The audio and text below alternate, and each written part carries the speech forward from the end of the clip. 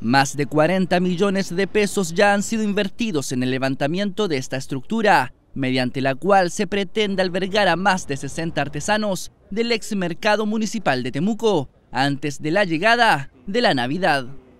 Nuestro compromiso no solamente con, con las autoridades, sino que con nosotros mismos y la comunidad es poder estar antes de Navidad instalados.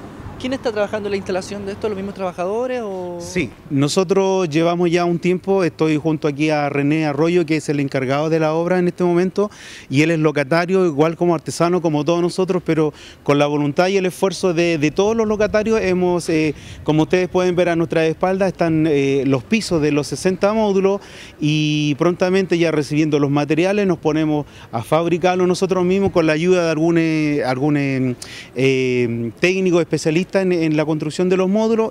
Los trabajadores del ex centro cultural y comercial han visto retrasada la obra debido a diversas complicaciones que han tenido que sortear. Ahora solo esperan la firma de un ingeniero calculista para poder seguir reforzando la estructura que deberá soportar el peso de una carpa.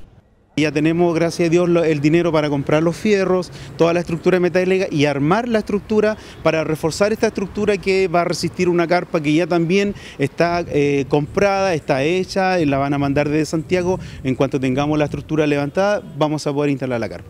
Eh, sí, creo que como artesanos eh, nosotros sabíamos solamente ofrecer los productos hacia el cliente, pero en esta oportunidad hemos tenido que darnos de maestro y organizarnos para hacer esto. Nos ha costado un poco porque no todas las personas eh, quizás sabe tomar un martillo, una sierra eléctrica o, lo que se pueda ocupar, pero le hemos hecho empeño y, y no ha salido bien.